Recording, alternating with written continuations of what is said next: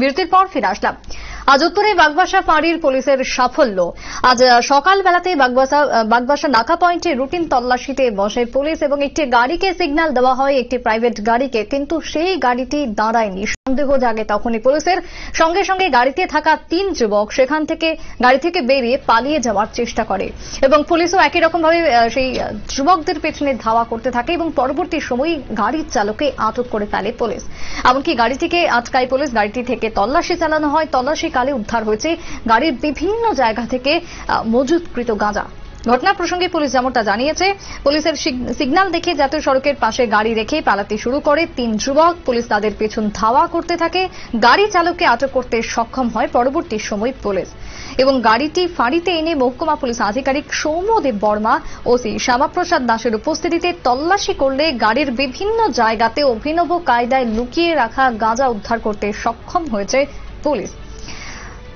এবং আজকে সেক্ষেত্রে উত্তরের বাগবাসা ফাঁড়ি পুলিশের বড়সড় সাফল্য। প্রত্যেক দিনের মতো আজকেও চলছিল নাকা চেকিং এবং সেই সময় আটক হয়েছে গাড়ি এবং গাড়ি থেকে উদ্ধার হয়েছে বিপুল পরিমাণে গাঁজা। কি বক্তব্য রয়েছে পুলিশের? শুনব।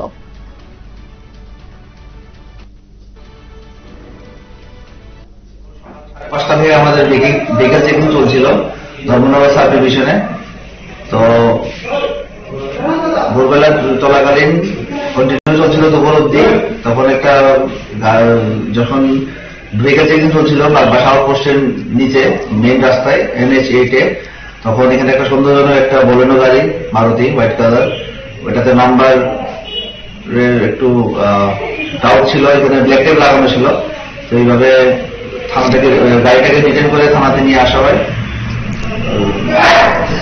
হাইওয়ের কারণে, এখান থেকে থানার পাশেই যখন এটা সন্দেহজনকভাবে চেকিং করা হয়, তার ভেতর থেকে বিভিন্ন সাইজের প্যাক করা গাড়ির ডোরের ভেতরে সিটের ভেতরে এবং পেছনের দিকে টিকির ভিতরে গাড়ির বডিতে কিছু কন্ট্রাবেন্ড আইটেম প্যাকেট ঢোকানো ছিল।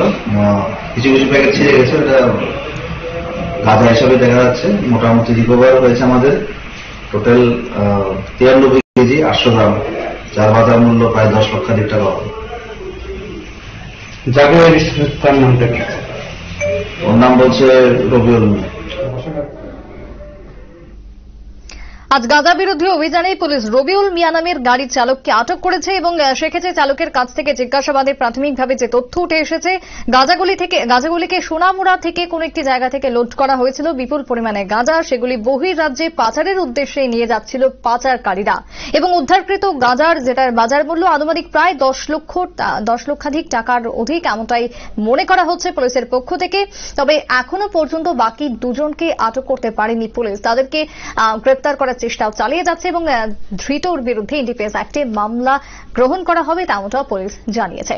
নিচ্ছে একটা বিরতি, ফিরছে বিরতির পর সঙ্গে থাকুন।